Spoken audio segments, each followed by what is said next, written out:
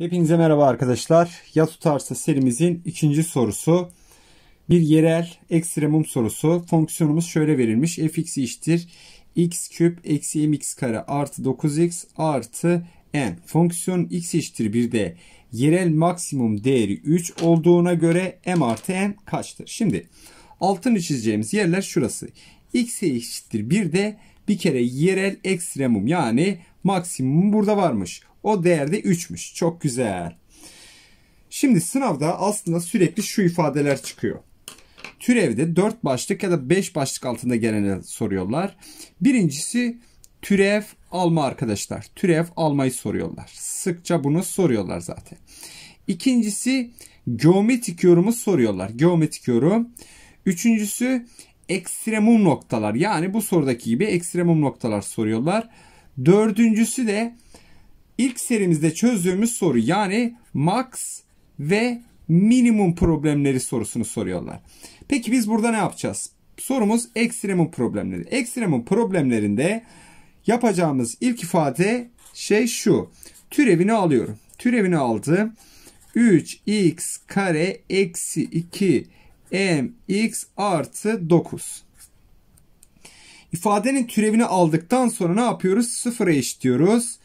Hatta ve hatta orada köklerimizi buluyoruz. Burada iki tane kök buluyoruz. Bu kökler x1 ve x2. Burada ne diyelim? x1 küçük x2 iken tabii şöyle çizebiliriz.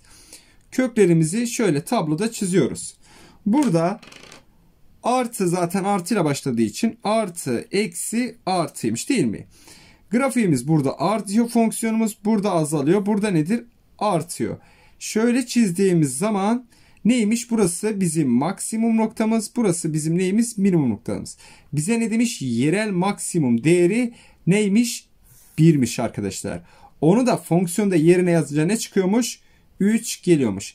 E madem burası 1 ise kök denklemi sağlayacağından x gördüğümüz yere 1 yazalım. 1 yazdım. 3 eksi 2m artı 9 o da eşittir 0 mı? Evet. Buradan 2m eşittir 12. m değerimiz 6 mı geldi? Süper. m değerimiz 6 ise fonksiyonumuzu şimdi tekrar yazalım. x küp eksi m'i 6 bulduk. 6x kare artı 9x artı n. Yerel maksimumuz neydi? 1. Bu sefer de burada 1 yazıp ne eşliyoruz? Arkadaşlar 3'e. Güzel. O zaman 1 yazdım. 1 eksi 6'nın artı 9. Şurada 1 var. Zaten 1'in karesinden 1 gelecek. Çarpı 1 artı n. Ne eşitmiş? 3'e. Gerekli düzenleme yap. 9, 3, bir daha 4. n artı 4 neymiş? 3. Buradan n değerimiz ne geldi? Eksi 1. n'i bulduk. Eksi 1.